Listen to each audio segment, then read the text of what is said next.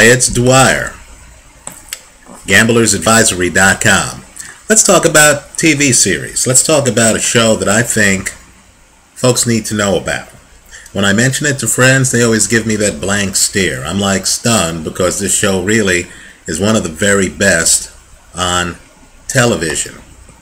The name of the show is called Luther. It's with Idris Elba, and I'll just say it's great.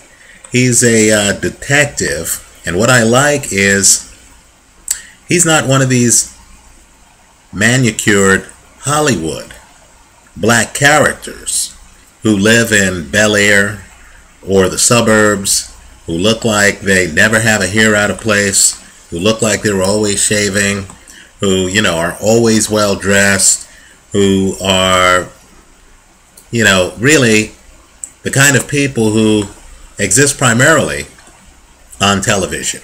You know, nor is he, you know, a doctor like Bill Cosby was, or a lawyer like Bill Cosby's wife was on the same show. Um, you know, what he is is actually a detective. And the show works because he is cerebral.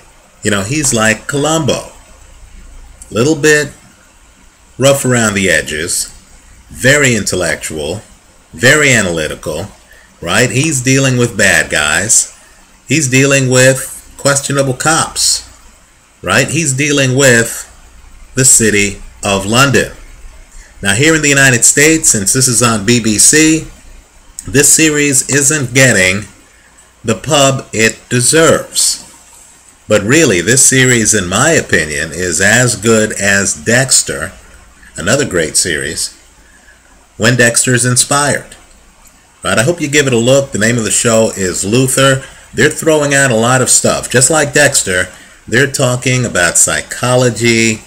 Uh, Luther is a bit of a profiler.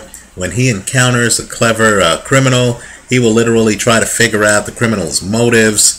He'll try to uh, figure out victimology. Really advanced stuff. And all I could say is, um, you know, we don't have shows like this right now in the United States. I think it's worth a look.